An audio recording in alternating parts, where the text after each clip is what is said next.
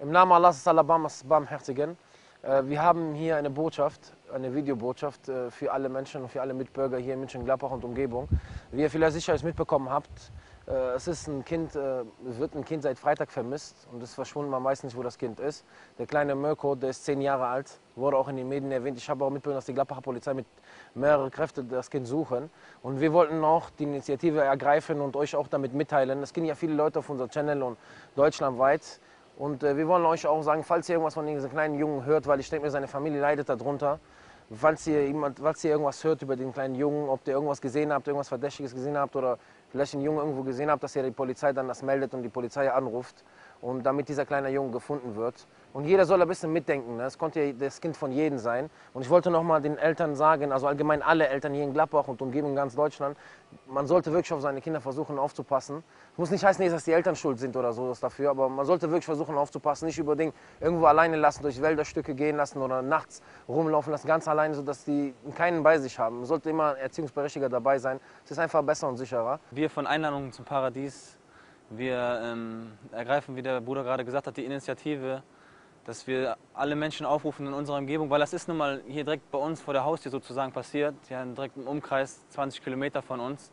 Ja, das ist wie vor der, Haus, vor der eigenen Haustür und deswegen machen wir auch diesen Aufruf, weil der Junge könnte sich äh, in jeder Straße von uns hier befinden.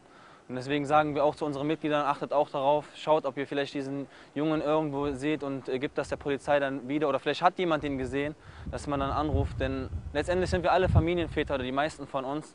Und äh, es ist sehr schwer vorzustellen, wenn auf einmal das, das Kind aus der Familie entrissen wird. Und dann ist, spielt eigentlich die relativ, die, relativ die, äh, die, die, die, die Religion, also die ist dann sekundär, dann, die spielt dann weniger eine Rolle, weil das ist eine Herzensangelegenheit.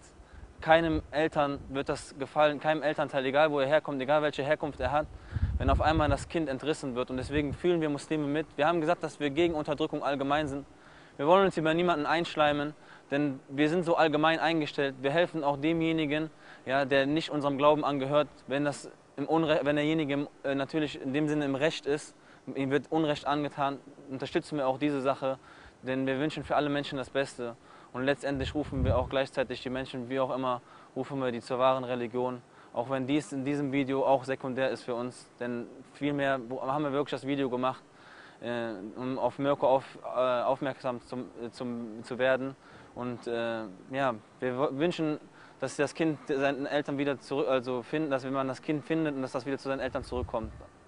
Bis dahin äh, verbleiben wir mit dem Friedensgruß für die ganzen gläubigen Menschen. Assalamu alaikum wa rahmatullah.